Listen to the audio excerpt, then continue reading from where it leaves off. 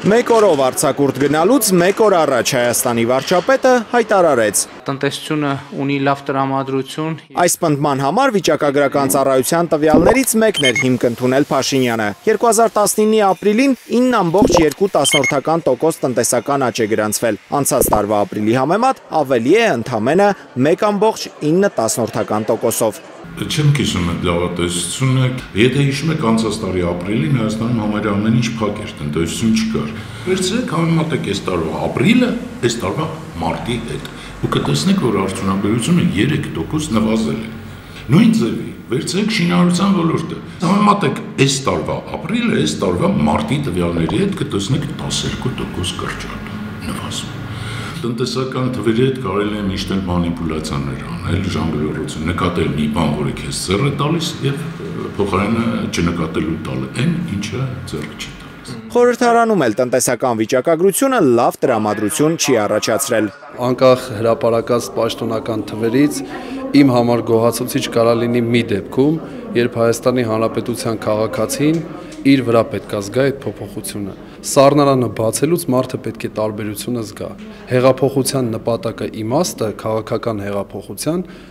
նա էր, որ դրան պետք է հաջորդի նաև տնտեսական հեղափոխությունը։ Այս պահին մենք որևէ փոփոխություն այդ առումով չունենք։ Փոփոխություններ կլինեն, ԲՀԿ-ական գործընկերոջը խոստանում է Բաբկեն Թունյանը։ Իմ քայլից քաղաքական մեծամասնությունը կառավարության հետ հիմա փորձում է փոխել տնտեսության զարգացման հունը։ Արտահանելի հատվածների մրցունակությունը բարձրացնենք, այսինքն արտադրության ու ծառայությունների այն սեկտորները, որոնք արտահանման են գնում, իրանք խթանվեն ու ըստ այդմ արդեն տնտեսական աճի մեջ ավելի մեծ մասնակցություն ունենան։ Այս պահին Թունյանին հաճելի է տնտեսության շնչառությունը, աճի որակը այն չէ։ Աճը լինի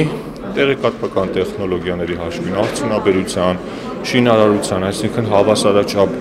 բաշխված լինի տնտեսության տարբեր ճյուղերի մեջ ու հիմնված չլինի, ասենք, մեծ մասով միայն օրինակ բուկմեկերական ընկերությունների կամ հարակից այլ ոլորտների հետ։ Ճանապարհները բաց է, կատվածահար է։ Խորհրդարանում կարծես վճռական էին, որ օրենքով սահմանափակեն բուկմեկերական գրասենյակների աշխատանքը, սակայն խաղաթղթերը խառնեցին բուկմեկերական ընկերություններից մեկի աշխատակիցները, չորեքշաբթի կատվածահար անելով Բաղրամյան պողոտան։ Օրենսդիրում այս պահին հարցն արկախել են։ Այս ընթացքում տնտեսական մեկնաբանները հաշվում են, թե որքան է այդ բիզնեսի մասնաբաժինը մեր տնտեսությունում։ Թվերը տպավորիչ են, մտահոգող։ Այդ շուկան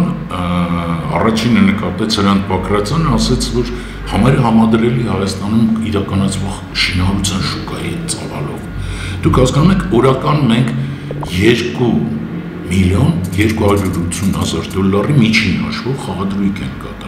Որ เป զի ցույց տա, թե որքան մեծ է թիվը, Գալոյանը հիշեցնում է Փաշինյանին ներկայացված վերջին զեկույցը։ Հայաստանի տնտեսության մեջ կես տարում 31 միլիոն դոլար ռեալ ներդրում է արվել։ 31 միլիոն մենք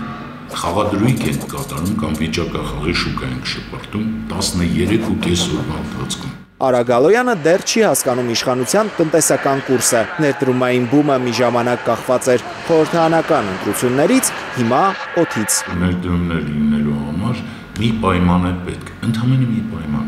հասկանալի իրավիճակ։ Տարոն Կոխլիկյան, Հայկ Խլախյան, Հայլուր